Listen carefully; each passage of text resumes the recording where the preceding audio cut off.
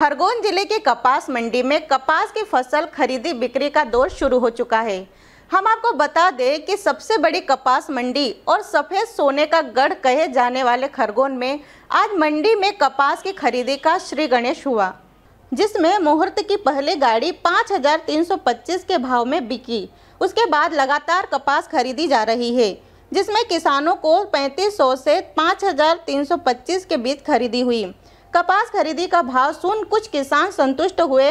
वहीं ज़्यादातर किसानों ने नाराज़गी ज़ाहिर करते हुए लागत से कम भाव मिलने की बात बताई। इस दौरान किसानों ने बताया कि जिस तरह महँगाई बढ़ी है, उसके एवज में भाव कम है। वहीं व्यापारी मुन्ना लाल जायसवाल ने कपास की फ़सल को गीला बताया और मानक स्तर पर खरीदी करने की बात बताई। खरगोन से अजय तिवारी की रिपोर्ट। पचास सौ पिचहत्तर मिला है तिरपन सौ पच्चीस का भाव पहली गाड़ी गई है उसके बाद में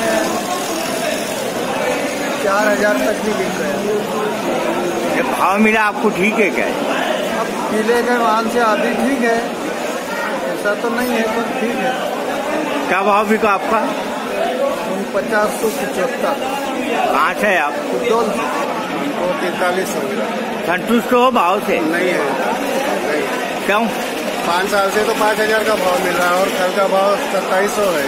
और मतलब कि महंगावारी हर साल से ज़्यादा बढ़ रही है। मजदूरी बढ़ गई। और उसके साथ में दवाई सब खाद वगैरह सब महँगा हो गया। क्या भाव मिलना चाहिए था पाँच छः हज़ार से ऊपर मिला था। अभी क्या भाव मिला आपको पाँच हज़ार ये तैतालीस सौ मिला। हेलो फ्रेंड्स आप देख रहे हैं हमारा channel S W twenty four news हमारे सारे वीडियो सबसे पहले देखने के लिए आप हमारे चैनल को सब्सक्राइब करें और पास में लगे बेल आइकोन को दबाना बिल्कुल भी ना भूलें।